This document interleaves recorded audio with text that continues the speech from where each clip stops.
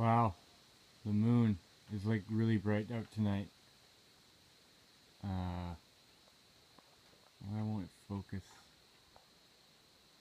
It looks like it's making, uh, you know, three one-dimensional lines, guys. Like an XYZ axis.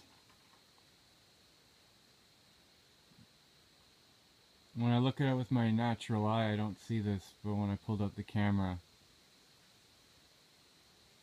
that's what I see. Look at that.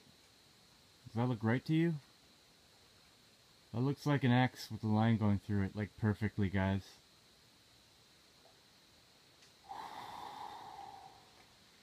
The only reason I came outside to do this was because I was inside and it turned the lights off. And if I were to show you the rest of the sky, it wouldn't really look all that great on the camera, but it's like someone could be at the water right now where I live and I would be able to see them walking. This is like a spotlight, man. Anyways, look at that. 10, 10, 10, 30, 33, guys. Look at that. Cheers.